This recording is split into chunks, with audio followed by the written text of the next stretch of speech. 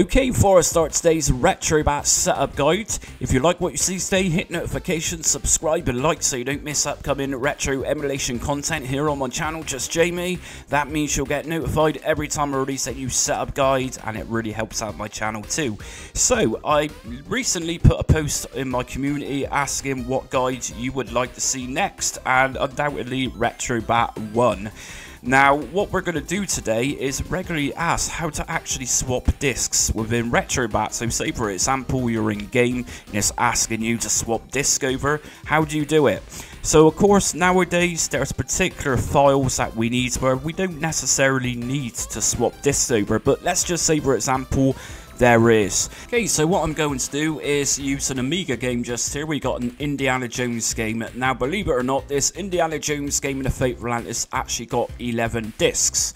So what I'm going to do is put these into the correct place. So if I go into the RetroBat directory, if I go to ROMs, and I go to Amiga 500, we're going to put all 11 discs inside of that directory. And now we can open up RetroBat.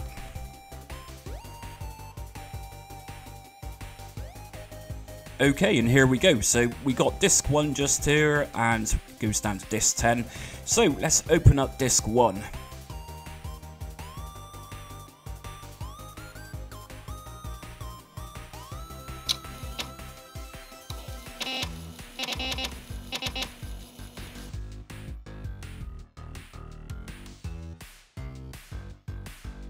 Okay, so here we go. It's now asking us for disk 2. So in order to swap disks over, change disks, I'm going to press F1 on my keyboard so I can also access this RetroArch quick menu by pressing my Xbox button.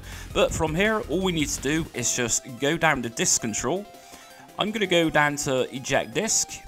I'm then going to go to load new disk. And it's asking us for disk 2. Here's disk 2.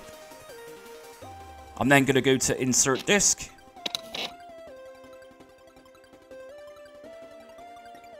And it's asking us to insert disk 1 again. So by pressing F1 or Xbox button, I can go to eject disk, loads new disk, back to disk 1, insert disk.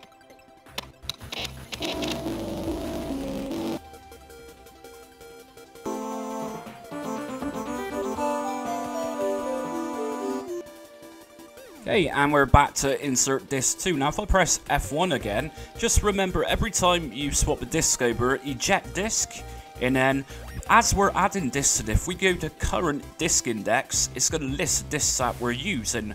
So from here I can then just go back to disk 2 and insert disk.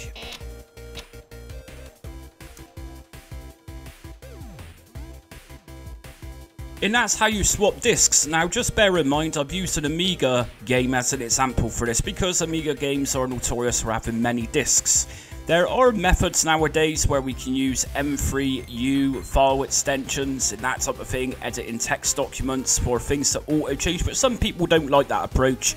But you can also use swapping discs with PlayStation 1 games, PlayStation 2 games, Amstrad games, ZX Spectrum games. So the method I've used in this video today can be used for anything, providing it's using a RetroArch core. Anyways, if you like today's video, hit notifications, subscribe and like so you don't don't miss upcoming retro emulation content.